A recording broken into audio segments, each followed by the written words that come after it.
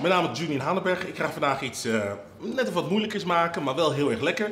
Ik heb uh, een stukje staartstuk en dat ga ik uh, straks lekker aanbraden en in de oven verder garen. En ik ga er een ratatouille bij maken en wat aardappelen. Nou, dit zijn eigenlijk de ingrediënten die ik daarvoor nodig heb. Natuurlijk een stukje staartstuk.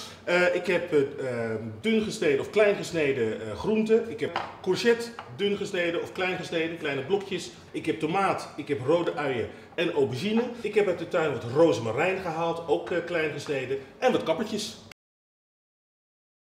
Ik uh, snij in tot uh, het vlees ongeveer.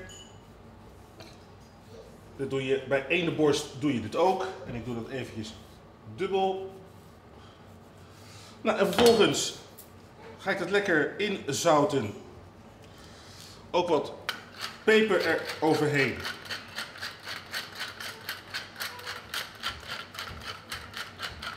Nou, goed aandrukken. Nou, het staartstuk doe ik op het vet in de pan.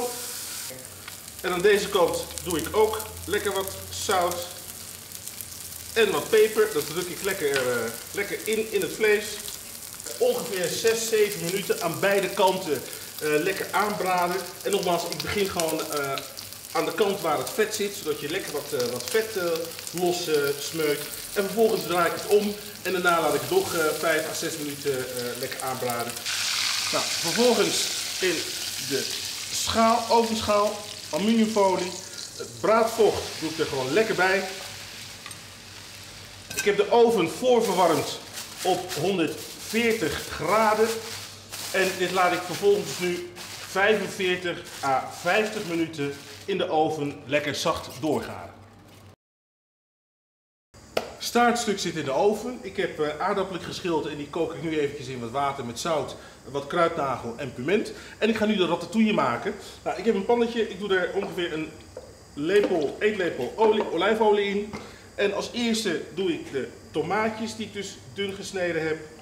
En is echt een heel makkelijk gerecht is dit. En als de tomaatjes er liggen, dan doe ik daar de courgette overheen. Ik doe de aubergine eroverheen. En als laatste de uien. En ik zorg dat ik alles in ongeveer even grote blokken gesneden heb. En ik heb ook nog rozemarijn uit de tuin en dat doe ik daar weer overheen. Nou, en straks doe ik er ook nog wat, uh, wat zeezout bij. Nou, en dit laat ik eigenlijk op een laag vuurtje. Laat ik gewoon 10 minuten, kwartiertje even lekker zacht sudderen. En straks heb je een lekkere ratatouille wat heel goed smaakt bij het vlees.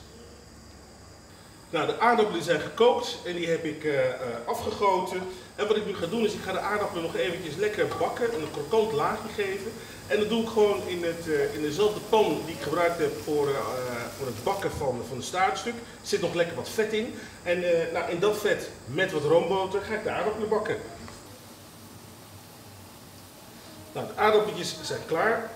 Ik heb uh, gekozen bewust voor vast kokende aardappeltjes. En dan mooie blokken gesneden. Aardappelen zijn klaar, ratatouille is klaar. Vlees heb ik uit de oven gehaald en minimaal uh, een kwartiertje laten rusten. Nou, ik ga het nu uitpakken. Ik ben heel erg benieuwd hoe het, uh, hoe het geworden is. En ik ga het ook lekker aansnijden. Nou, alsjeblieft, kijk, dit is het geworden. Nou, en dan heel erg benieuwd hoe dit er als het gesneden wordt, eruit gaat zien.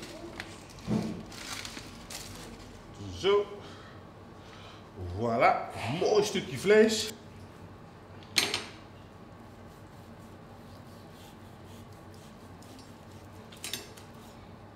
Nou, kijk eens hoe mooi dat eruit ziet. Zo wil je het toch hebben? Nou, en dit is het geworden. Staartstuk. Lekker in de oven, eerst aangebakken in de oven. Gekookt gebakken aardappelen met ratatouille.